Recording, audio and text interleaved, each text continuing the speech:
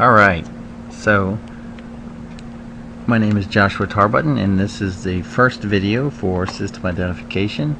Uh, today I'm just going to give you a brief introduction to the system identification toolkit in MATLAB and uh, it's really the uh, the GUI specifically um, and it, it, uses all the library functions.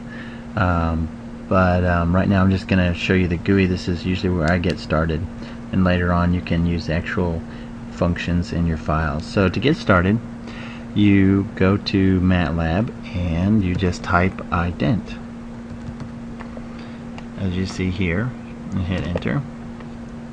That will bring up the system identification toolkit GUI. And on the GUI you'll see we have basically uh, three regions. Uh, over here on the left is the uh, imported data region data that you import will be show up here on these tiles.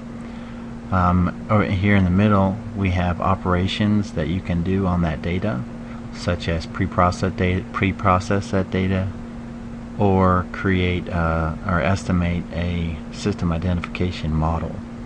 Over here are your output models. and so um, perhaps the best way to go through this is to just go through an example and fortunately they've included example data so we can just load that. And what that does is it it uh, brings up this import data uh, dialog box and populates variables in the workspace already. So you can see these work variables over here. We have u2 and y2 and uh, we have basically input and output data. We can name the data uh, give it a start time and a sampling interval. And so, say you wanted to get started, you could take your data and just make sure that it was the right, uh, an input variable and an output variable in the workspace, and then you can do do it very similar to as we're doing here.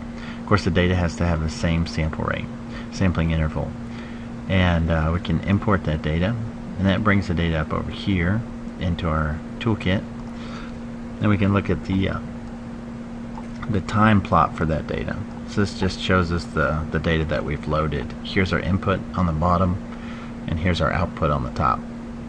What we're basically trying to do is create a system identif use system identification to create a model that can reproduce the same data. And so uh, in order to do that, what we'll do is we uh, basically the data that we import gets automatically copied here to the working data. And here we can estimate um, let's say we want to do a linear parametric model. This would be your ARX, your ARMAX, your output error, Box Jenkins, state space models.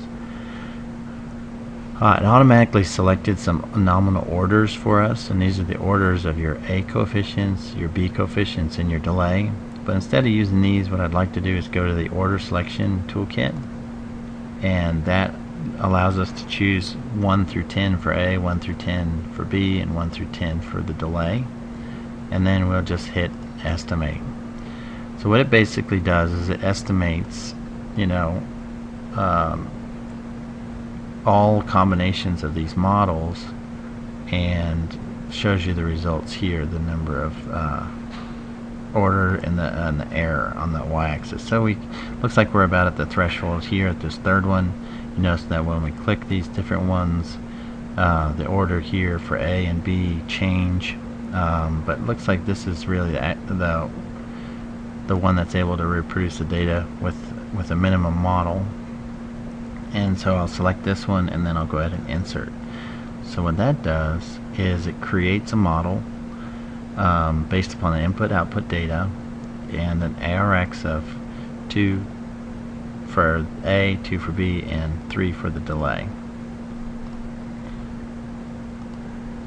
So now that we have this in, we can take a look at how well we did. And so what this shows us is basically it's a plot of the model data with the ARX model and underneath it's uh, our original data. So you can see just uh, very quickly we're able to get uh, a, model that is able to reproduce our, our, data. So this is just sort of an introduction um, for people who have never used the system identification toolkit. Uh, hopefully you'll find this useful.